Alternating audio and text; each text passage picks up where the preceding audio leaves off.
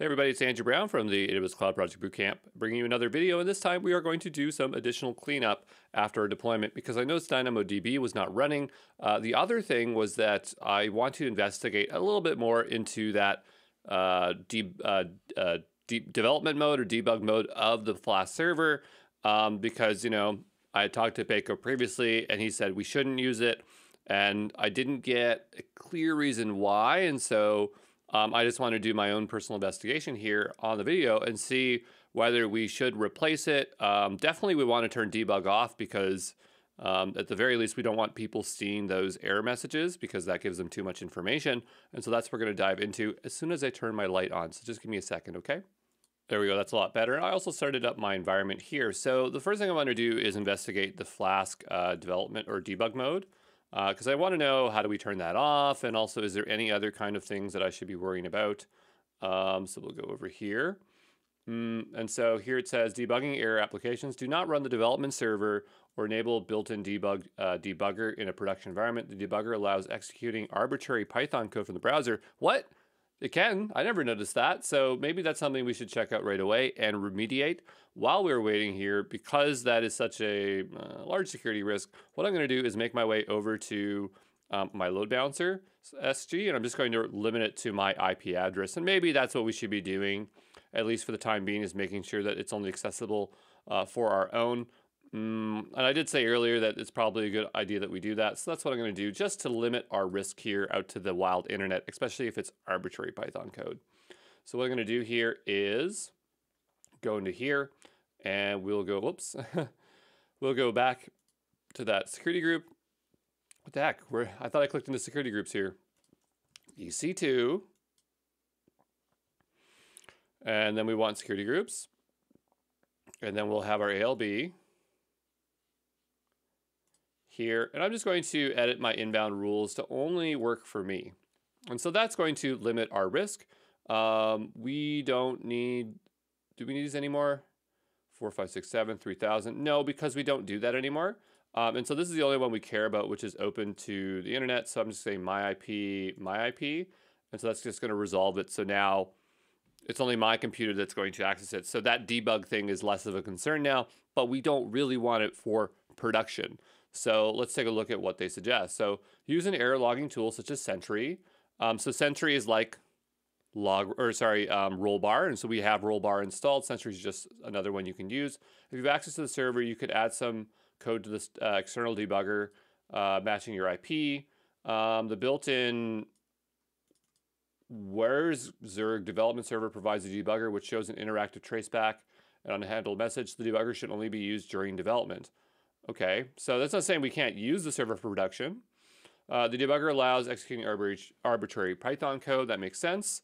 Uh, the debugger is enabled by default when the development server is run in debug mode, so it uses the debug flag. I was also kind of wondering how we would do that, and when running the Python code debug true enables debug mode. So app run debug true is another way to do it. External debuggers. Um, when using external debugger, the app should still be in debug mode. What does this mean? External debuggers, such as uh, provided by IDEs, can offer more powerful debugging. Um, so we have no debugger, no reload, stuff like that. So it seems like we can just put these flags in and, and, and put it in a better state. So that's what I'm going to do. I'm going to go to our backend here. I'm going to make a new Docker file, call this one Docker file prod. And uh, instead of doing um, this flag debug one, I'm going to actually just explicitly put uh, the flag here, we're going to say here and go uh, debug. And so that should still allow us to do debugging. Okay. And for the production one, we're going to go here and basically do the same thing. Um, and I'll just paste this in here. But with the exception of this being debugging, you know, we can make this a bit easier if we want to bring these on multiple lines here because I don't really want to uh, be figuring this out all day here, so I'm just going to bring this into multi-lines. I think I can do that, right? It'll let me do that. Um, I don't know. It's kind of making that weird syntax, so I don't trust it. So how about we, how we go back and we'll just copy this again. I'm having copy paste problems, as you always know. When I'm working here, my copy paste does never does not work ever how I expect it to. Um, so for this one, that is fine. The debug we can leave it on. Uh, for this, we'll say no debug, uh, no debugger, which I assume is for IDEs, not necessarily for um, rollbar and things like that, because we uh, instrumented those separately. Um, and then we want no reload. We don't want this to reload. So that should be all the flags that we need in order for that to take effect. Okay. Uh, and so what I need to do now is, I guess, build this production one separately. And so in order to uh, build this one to test it to make sure it's doing what we, we expect it to do is I'm going to have to build it separately. So we'll do docker build it. Um, actually, we specify the file, so we know we can do file. So that'd be docker file.prod. I'm going to call this one backend flask prod, and then we'll do a period. And that should build it, at least if I remember my Docker commands correctly. It's saying it doesn't know what the IT flag is. That's totally fine. We'll go look at our documentation to see what it is that we need to be able to do that. And I remember writing it in the week six Fargate here. So we'll go here and we'll look for Docker build. Um, could have swore it was in this one. Oh, sorry, we got to go to the journal here. Sorry. And we'll go into week six. Uh, Docker build here. Um, so yeah, hyphen T is the flag. Oh, there's no I being put in there. And it's just F. So that's the name of it and that's the file. So we'll go back over here and we'll hit up. And I'll just adjust that. Yeah, so we'll proceed to go ahead and build that. And so um, send building Docker daemon, uh, no basic credentials. It's because we need to log into uh, our our stuff here. And so I guess what I'll do is, man, I really wish this stuff here, the bin was at the top directory, but mm, I don't know if we should be moving that around right now because there's just some things that are not specific to backend Flask, um, like the, the login action, but I'll have a think about it. Uh, because there are ones that are specific, like you do want them to be there, like the health check, but not all of them do we necessarily want them to be there. So that is something that I just keep thinking about every time uh, we're working through the application here. But uh, anyway, so what I'm looking for, what was I looking for? Uh, oh, logging in. So we'll go to login here to ECR. I really should make this a bin script. Um, so I'm going to go here and say new file, new folder, uh, ECR. And I'm just going to say new file login and we'll just be done with it here. Now we could be using uh, AWS CLI aliases and then we could use them anywhere. Um, but I don't know if we should break those out, at least not at this point. Um, again, it's something I cover in my AWS CLI course, which yet has been to be released because I'm doing this boot camp. so maybe the future it'll be done and you'll have done it as a prerequisite. Okay, so I'm going to go here. And so this should um, be what we'll use to log in. So we don't have to keep looking for that line in the code. And so I'm just going to go do bin uh, ECR login.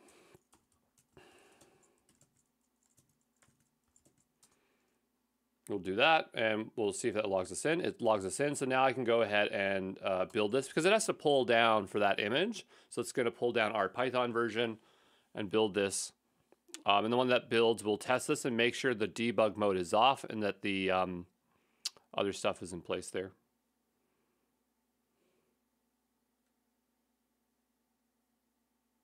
So this will take a little bit of time, so we'll give it a moment, okay? All right, so that finished building. So what I'm gonna go ahead and do here is I'm going to, well, we're going to take a look here and get it running. So um, we'll do, well, we have to make sure that we're running our Postgres uh, server locally because this one is reliant on those, um, those environment variables. But I guess we also have to set those environment variables as well. So what I'll do is I'll look for where we were running Docker before um, this one here. And I guess we'll just update this to run the production 1A. So we'll go down here. We'll go all the way to the bottom. Okay.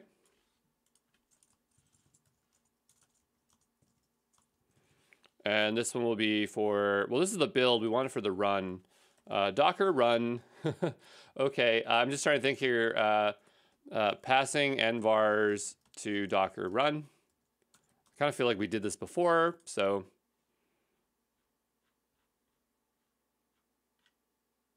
Maybe ChatGPT can just give me the quick answer. I just don't feel like figuring out. So passing uh, env vars to Docker run.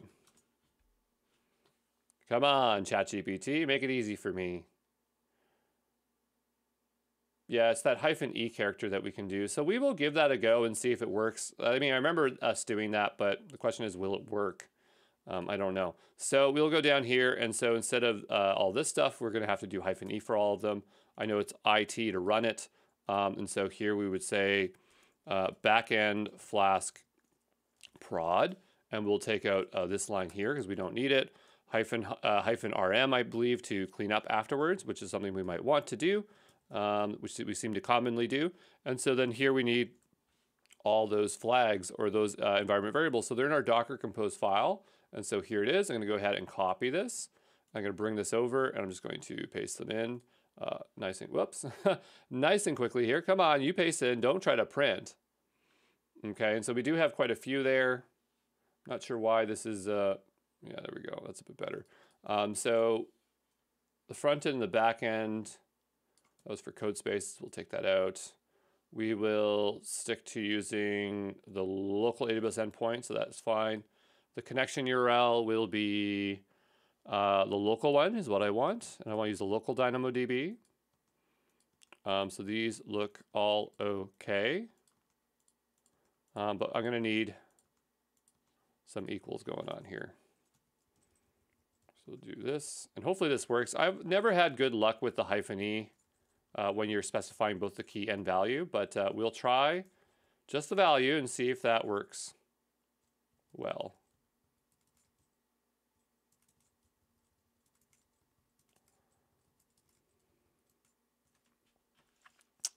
Okay, and so what I want to do here is just, oh, I'm trying to, yeah, there we go, hyphen E. So that should do that there. And then I just need backslashes on all these.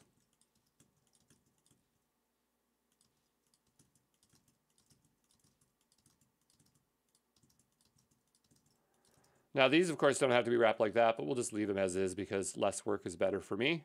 I'm just going to bring that back to the wall. Um, and so I think that should run it um, and have all of our configuration. Of course, that is my local configuration. We'll go ahead and commit those changes.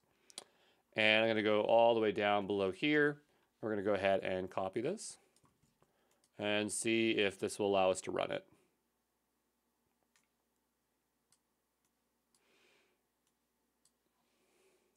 We Might even want to make a new folder here called Docker.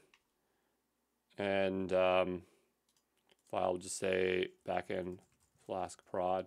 And that way I don't have to keep typing this stuff in multiple times. So we'll paste that in. Um, and hopefully that will be something we can uh, continuously use. But we will run it first. Not like that. We'll do this here. Okay. And so I just want to actually copy paste this and see if this at least works.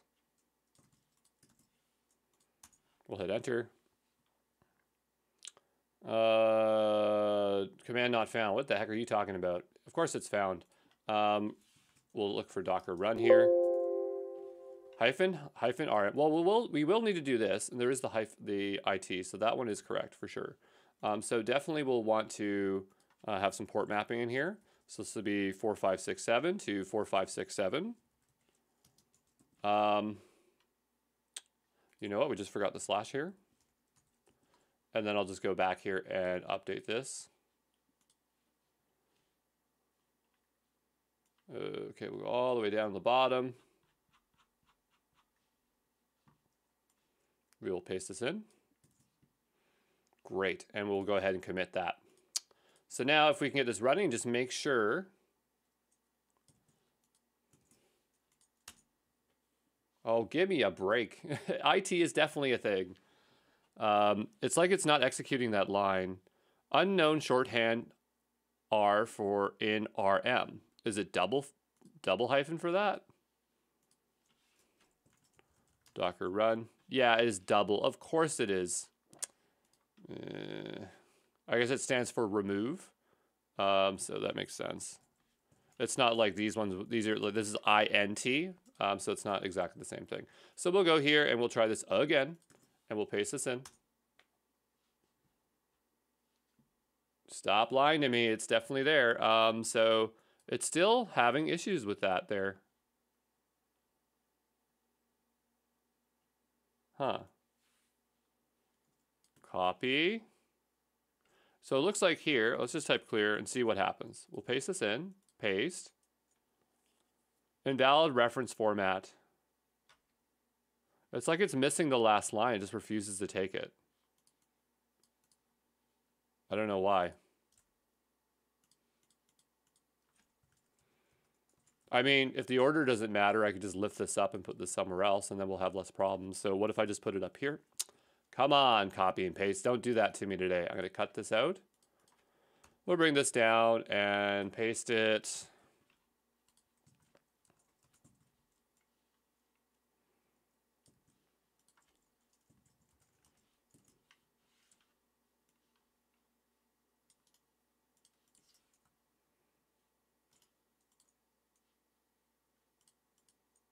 Let enter.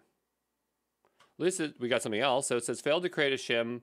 Uh, OCI failed to create it uh, for the hyphen E, path unknown. Not sure why we're having this issue, but what we're going to do is look at what Docker images we have and just see if we have it. So this one's called backend flask prod, just making sure that is correct. Backend flask prod, that looks right to me. So what the heck is wrong here? Um, I can try to also execute it from the uh, bin. I kind of prefer to do that, to be honest.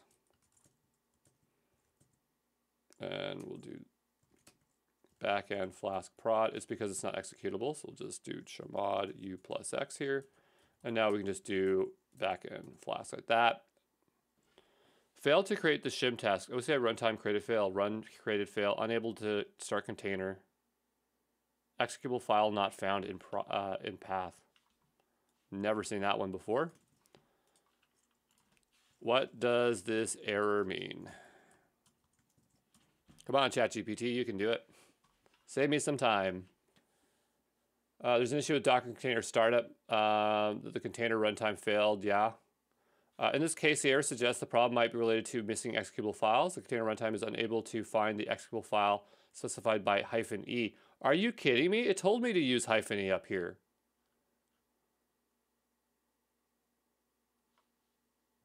ChatGPT, are you lying to me? You can't trust this thing for anything. Let's just do man docker and, and take a look at what's here.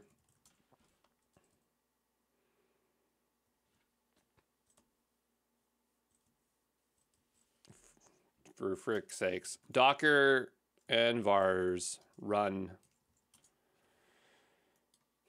It shows hyphen E.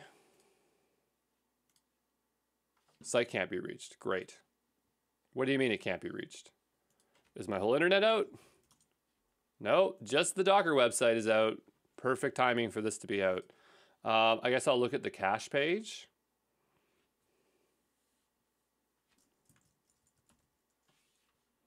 Sets environment a variable. Okay, so, I mean, just to rule this out, let's just put because I don't trust this hyphen E thing. So I'm going to go here. I told you this thing always gives me trouble, so I'll do this instead. Um, and we'll see if it takes that.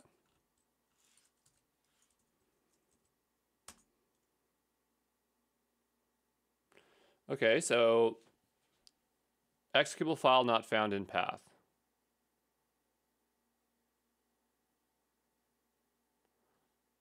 runc, created failed, unable to start process container process. It could just be the order of these things that is throwing it off. Um, so I'm going to take this and put this down below here. So I can't really check the docs right now easily on the website. Let's see if that improves it. Yeah, it cares about the order. So for whatever reason, this was not getting pasted in here. Maybe we, our command was too long. And so by executing here, we are having less trouble. Here it's having issues connecting to the service pool. That makes sense because we're not running um, uh, the SQL server. So I'm just going to go here and run that selectively here. Okay. And actually, I should have been running uh, both that and I'm going to redo that Docker Compose Select Services. Uh, we're not necessarily going to be looking at DynamoDB local here, uh, but we'll start them up because they both rely on it, okay? And so that should resolve uh, that issue here. Was this the one we ran it on? Nope.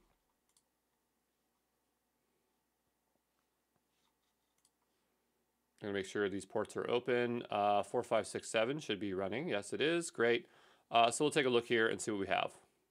So that's fine. We'll go here and say API activities home.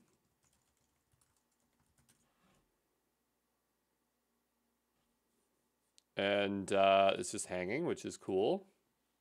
It's doing a query. It's because it, it can't seem to establish a connection right now to the backend. Um, so oh, 5432 is right there. Mm, I think the, the key, key difference here is that our um, Postgres server is actually now just localhost because we're now executing this not from Docker Compose, but from here, right? So we'll just hit up and try this again.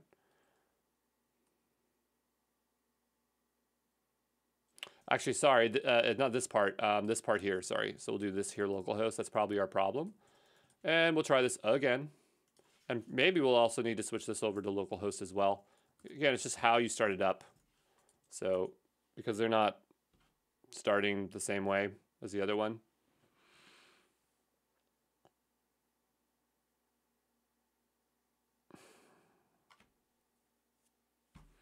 Okay, well, I'm not sure why that's happening there right now, but um, I don't want to worry about that. What I want to worry about is whether this is actually producing an error or not. So, or if it's going to um, hot reload or do other stuff. So this isn't mounting it. So whatever's in there is what it's going to be running. Um, but I want to see what happens if we run into an error. So what I'm going to do is pur purposely jank one of our endpoints. So I'm going to go into the uh, app.py here, if I can find it. Yes, it is. And then we're going to go down to our API health check, and we're going to purposely raise an error or cause a problem. Uh, where is it? Here, so I wonder if I could just introduce a syntax error or something. Um, I'm just trying to think what would cause an error.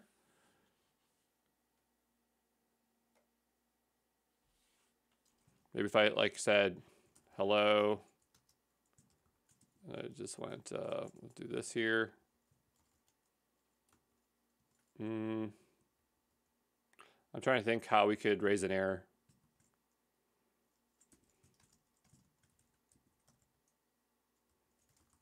Maybe like try to call a function that doesn't exist there. I suppose what we could do is just start this up the regular way and then um, see if that actually raises an error. And then if it does, then we can then go ahead and uh, rebuild the production and, and then test this, okay? That's what I'm thinking.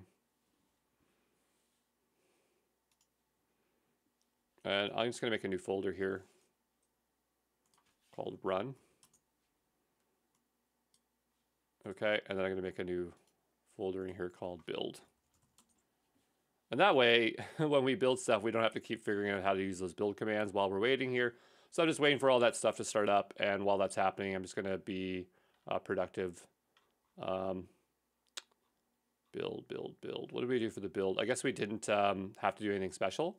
So I'm going to go here, new file, backend, flask prod.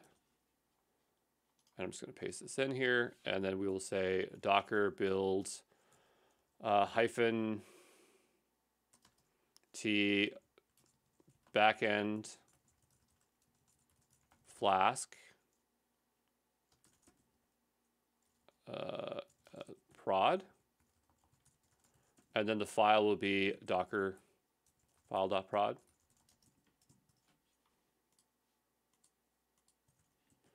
I suppose that's a similar process here for the front end. So we'll say front end React JS.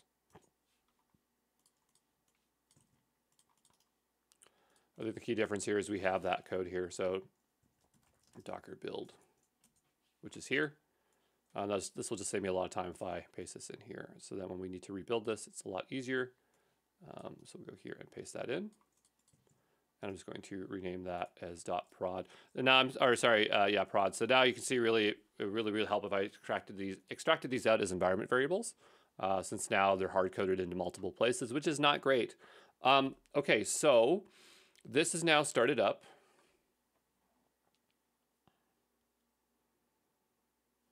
Um, And so what was I doing? Oh, we are going to see if this works in development properly. So I'll just open this up as per normal. And I just want to see if this is going to raise an error. Um, API health check here. Great. So this is what we're seeing. Um, it said there was like, the debugger caught the WSGI issue and it was saying like there was a way to interactively execute stuff. I don't see that here. Um, and we didn't turn debug mode off. It's on. So that security risk they were talking about saying like, hey, you could execute any random code. I'm not sure if that's true, at least not in this version because I, I can't see it. But still, we don't want to see this this stuff, right? Um, and so I just want to go over to the uh, this one here and just see what happens if we say no debug. We're just going to do this temporarily, okay? And I'm going to do docker compose up again. We'll just say uh, more build scripts, more scripts. Well, I don't want to commit this change, so maybe I'll just wait here till this starts up and we'll check it in a second, okay? All right, so what we'll do here is take a look and open up our uh, backend again. And so what I'm hoping uh, we'll see is no